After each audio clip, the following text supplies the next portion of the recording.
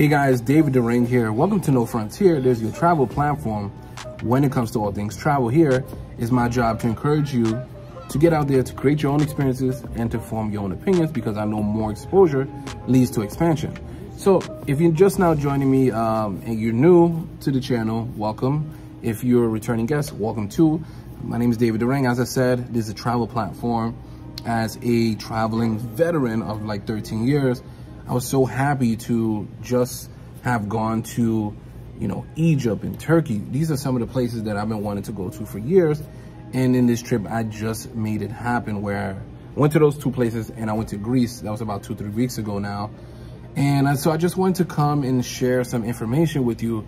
Maybe at first I was going to hit you with the Turkey, but um, with with Egypt, but I'll I'll give you I'll share some information about Turkey as well for Egypt. So I made a video talking and stating how I got scammed. Now, it wasn't a large scam, but a scam nevertheless is sort of like when you go into something thinking one thing and expecting a certain outcome based on that information, and that's not the case, and it's usually doing with money.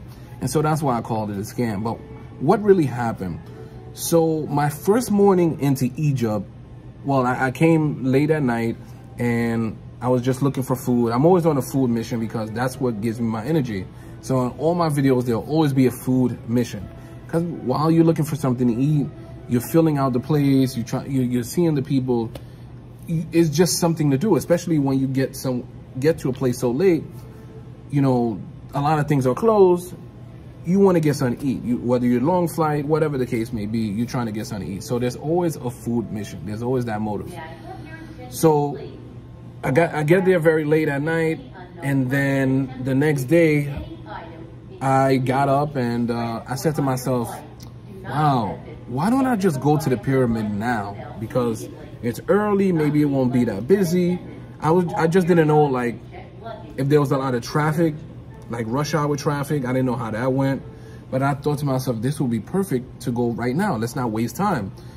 Egypt is one of those places where, or Cairo, whatever the city is like you you already know what you what you what you're coming for.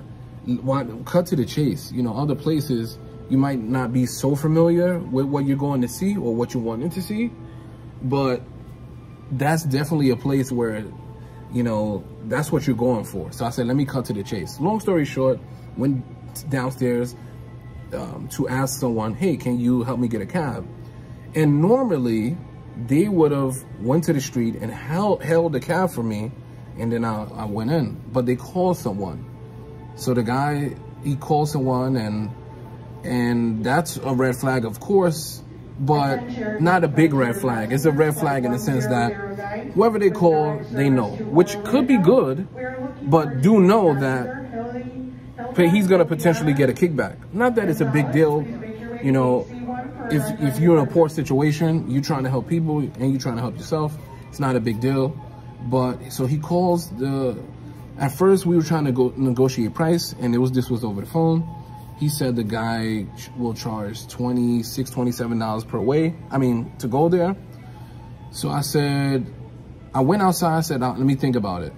And then I'll try to hail a cab to see how much would it be, like if somebody on the street will take me. And it seemed like most of the cabs just kept flying, like going really quick. And they were going, maybe they were going to the airport, who knows.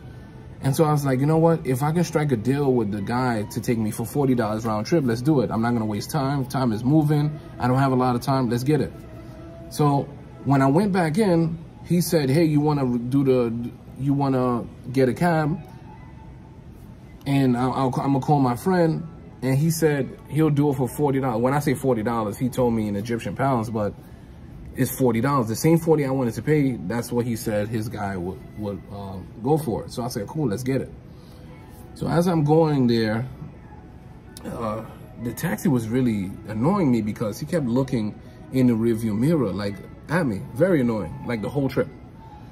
But while we were driving, he was saying this is this and that's that, that building. The president was around my area because there were so many guards for miles and miles. Like I saw them by the military building or whatever building it was. Uh, law enforcement guards, they were like spaced out on each side of the street, on rooftops. Like it was, it was a big thing for miles and miles and miles. And he said the president is around. I peeped this before he said it. He said the president must be around because this is not normal to have so many guards. All right, long story short, we keep going. We the drive was about an hour, give or take, and um, so we were almost by the pyramids because you can see it from the distance. Even when you're on the highway, you can see it from far. And when you descend and, and go closer, he said, "Hey, do you do you want to go to a museum?" I didn't really want to go to the museum, but he told me they would explain to me certain things. So I'm like, cool, like, whatever, let's go. So when I went inside, I'm like, in my head, this is not a, this is not a museum. This is basically, if you want to call it a souvenir shop or art space, whatever the case may be, this is not what it is. And it kind of, it reminded me of when I went to Thailand years ago with my friend and we had tuk-tuk drivers, the gentlemen who ride the tuk-tuks, and we paid we went, it was so cheap. So my, my friend had one, I had one, and uh, they kept stopping us at different businesses. Businesses like um, suit shops or different other business, other businesses like that.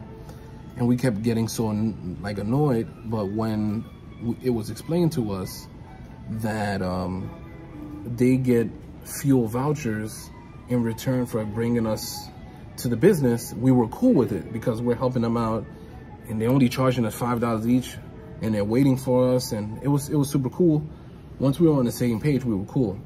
This guy brought me same thing. He probably gets a kickback and then that's it. Um, another thing, when he, after we left this place, we went to, so like a, uh, we went to this business that had the guides that actually take you around which is like outside of one of the gates. You can't miss the place. It's like by one of the gates. So he must get a kickback as well for bringing us to that business. Because if you leave it to like the local people, like what business are you going to get? So that, you know, I get it. Everybody got to eat, right? So as I get to the back, I mean, as I walk inside, they take me to a back, to the back and they try to they say hey while we're getting your guard while, while we're getting your guide person together um, do you want to check out cologne and stuff like that? What kind of cologne you wear this that and the other? They trying to sell me stuff. I'm like i'm not interested. And i have to be very stern because i was already pissed about being in turkey and them trying to sell me rugs like going down uh, to somebody bringing me to their business their souvenir shop and taking me directly downstairs which I don't advise people, which is why I actually did it because I was trying to do a video on what not to do. Because normally I would be like, no, like I have no problem saying no. I was trying to show people what not to do. And I have a video, a whole video about that coming up. So I was pissed off anyway about that situation. So I was very stern with them. So we were trying to figure out how much the tour was going to be. So for the tour that I was going to do, because there's different packages, I think he said like somewhere between 90 and 100 bucks. I worked it all the way down to 50. Had I had more change in my pocket, I would have worked it out even more, right? Um, because also during the conversation, he did tell me I still have to pay to get in, like the $12, they called it taxes, but that's, that's, it's really the entry fee. He's talking about government taxes. Technically, that's the entry fee. And hindsight is 2020 because even I watched videos after I got back of there's a separate entrance. There's a real entrance where buses go and it has the, the listing of the, of the prices like children and adults and everything. And it's about 12 bucks. So th their so-called taxes is the entry fee to get in. The $50 I paid was for the horse and carriage. So I'm gonna end it right there with the story. That's what I was talking about.